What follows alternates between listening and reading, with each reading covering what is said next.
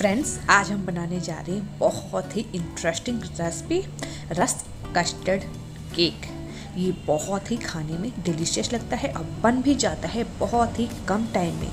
अगर आपके घर आने वाले हैं गेस्ट और आपके पास कोई स्वीट नहीं है तो आप बनाए झटपट रस कस्टर्ड केक और इस रेसिपी में ना तो आपको ज़रूरत पड़ेगी किसी मैदे की बटर की कंडेंस मिल्क की और ना ही ओवन की और ना कढ़ाई कुकर किसी चीज़ की ज़रूरत नहीं है। ये हम बनाएँगे बिना बेकिंग के और ये बहुत ज़्यादा डिलीशियस बनेगा। तो चलिए बनाना शुरू करते हैं।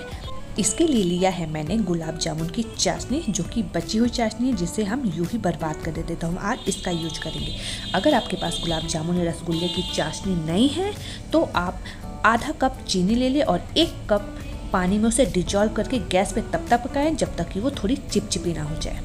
और हम, मैंने इसे डाल दिया है एक पैन में और इसमें डालूँगी आधा कप से भी थोड़ा सा कम पानी और इसे हम मिक्स कर लेंगे जिसे पानी और चाशनी आपस में मिल जाए और इसे हम रख देंगे गैस के ऊपर, जिससे कि जो हमने पानी डाला हुआ है, वो भी अच्छे से चाशनी के साथ पक जाए। हमें इसे बहुत देर तक नहीं पकानी है। जब ये थोड़ी उबल जाएगी तो हम गैस की फ्लेम को बंद कर देंगे। हमारी चाशनी अब पक चुकी है तो मैंने अब कर दूँगी गैस को बंद, और इसे हम ठंडा होने के लिए रख देंगे। और अब हम एक पैन में ले लेंगे। आधा लीटर फुल क्रीम मिल्क मैंने यहाँ पे यूज़ किया है। अगर आप कप से नापें तो ये ढाई कप होता है। तो मैंने दो कप मिल्क डाल दिया है, और ये मेरा आधा कप, यानी कि ढाई कप मिल्क का मैंने यहाँ पे यूज़ किया है, और इसे हम हाई फ्लेम पे छोड़ देंगे पकने के लिए और बीच बीच में चलाते रहेंगे। दूसरी तरफ़ मैंने ले लिया है आधा कप मिल्क, जिसे मैं एक बाउल में डाल दूँगी। इस पूरी रेसिपी में आपको तीन कप मिल्क की ज़रूरत पड़ेगी। इससे भी इतने कम मिल्क में आप बना पाएँगे बहुत ही डिलीशियस टीचर्स तो मैं इसमें डालूँगी अब तीन चम्मच कस्टर्ड पाउडर आप कोई भी फ्लेवर का कस्टर्ड पाउडर ले सकते हैं। मैंने यहाँ पे प्लेन कस्टर्ड पाउडर लिया है। आप चाहें तो वनीला फ्लेवर का भी कस्टर्ड पाउडर यूज़ कर सकते हैं और हम इसे अच्छी तरह से मिक्स कर देंगे। इसमें कोई भी लम्ब नहीं रहना चाहिए। बिल्कुल हमें लम्ब फ्री मिक्सचर बना लेना है। दूध है यहाँ पे, ये भी अच्छे से बॉईल हो चुका है। तो मैं इसमें डालूँगी चार चम्मच चीनी।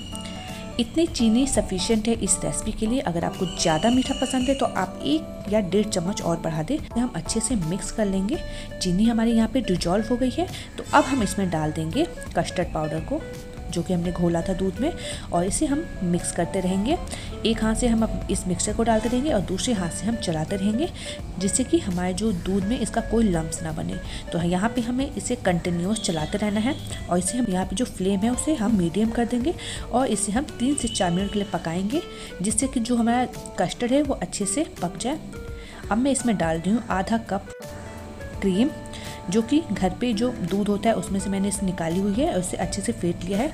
इसे मैं यहाँ पे डाल दूँगी। इससे जो हमारा कस्टर्ड है उसका टेस्ट और ज़्यादा अच्छा आएगा। आप चाहें तो इसमें इलायची पाउडर डाल सकते हैं या कोई एसेंस आपके पास है तो आप उस एसेंस को भी इसमें यूज़ कर सकते हैं। और इसे हम बिल्कुल मीडियम फ्लेम पर थोड़ी देर के लिए पकाएँगे जब तक कि जो हमारे कस्टर्ड है वो गाढ़ी ना हो जाए हम गैस की फ्लेम को ऑफ़ कर देंगे और इसको भी हम ठंडा होने के लिए रख देंगे। अब हम ले लेंगे रस्क। ये एक पैकेट रस्क है जिसे हम यूज़ करके बनाएँगे केक और इधर जो हमारा कस्टर्ड है, वो भी अच्छे से ठंडा होके गाढ़ा भी हो चुका है। हमें कस्टर्ड बिल्कुल ठंडा यूज़ नहीं करना, हल्का गुनगुना होना चाहिए। अब हम ले लेंगे एक बाउल और इसमें हम डालेंगे अपने रस को। हम रस को इसमें बिल्कुल सेट कर देंगे एक एक करके अपने रस को इसके बॉटम पे रख देंगे। और जो जगह खाली है उसमें हम टुकड़े भी डाल देंगे। अब इसके ऊपर हम डालेंगे गुनगुना किया हुआ चाशनी। चाशनी जब हम इसमें डालें तो वो भी हल्की गर्म होनी चाहिए। इसके ऊपर जो हमने कस्टर्ड बनाया हुआ था उसको हम डाल देंगे।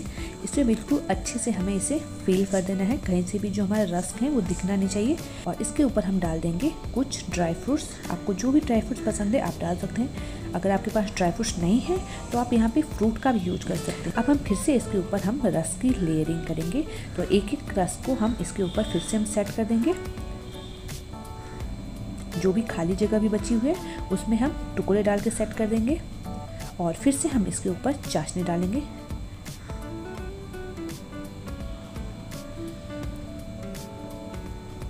हमें चाशनी को बहुत ज़्यादा भी नहीं डालना है, बस इतना डालें कि जो रस्क है, उस चाशनी को एब्जॉर्ब कर पाए। तो हमें एक्स्ट्रा नहीं डालना है और फिर से हम इसके ऊपर कस्टर्ड की लेयरिंग कर देंगे। ये डिजर्ट्स खाने में बहुत ज़्यादा डिलीशियस लगता है।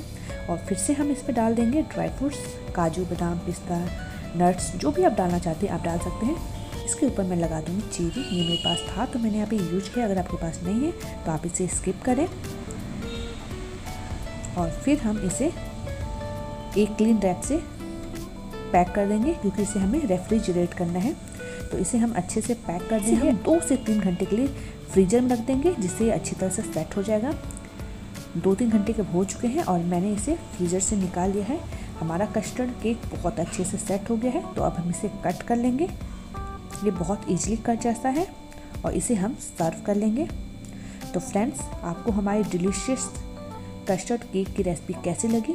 अगर आपको हमारी रेसिपी पसंद आई हो तो प्लीज़ हमारे चैनल को लाइक, शेयर एंड सब्सक्राइब करना ना भूलें और बेल आइकन को भी प्रेस करना ना भूलें ताकि हमारी हर रेसिपी आपको मिलती रहे।